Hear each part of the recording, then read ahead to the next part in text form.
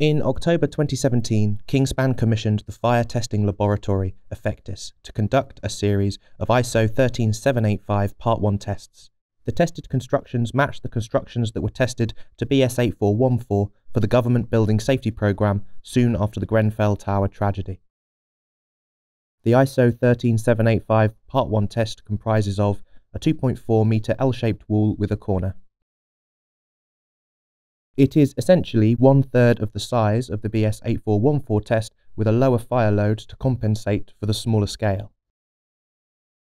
You will now see some videos of the ISO 13785 Part 1 tests to show you how each construction performed. On screen you can see four tests that comprise phenolic and rock mineral fibre insulation with A2 solid cored and FR cored ACMs. You are seeing a 7 second clip at the beginning and at 5 minute intervals until the end of the test. The highlighted construction would comply with the new ban on the use of combustible materials in cladding systems on apartments, student accommodation, and other types of building where people sleep in England.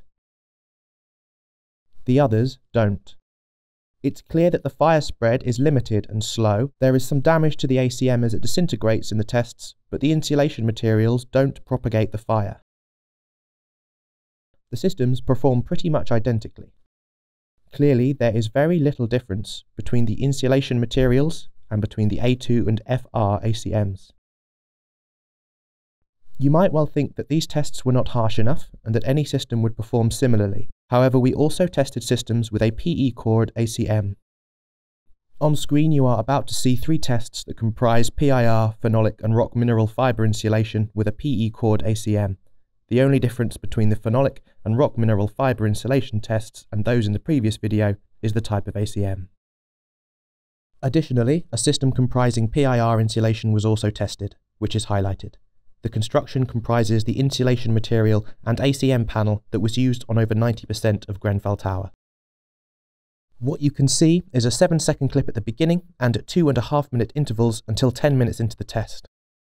The time intervals have been shortened for these tests because, as you can see on screen, the fire spread is much more rapid.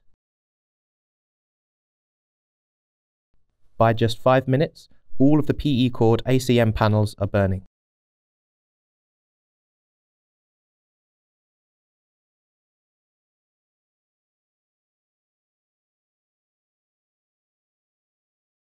At just 10 minutes, the cladding panels in all three systems have completely burnt away, leaving the insulation material behind, which, in all cases, has self-extinguished.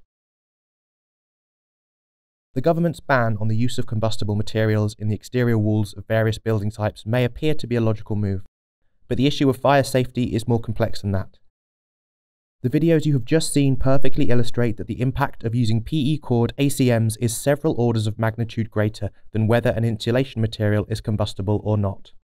The videos also show that product performance is not a reliable indicator of system performance. Systems that feature combustible materials can perform as well as those that don't.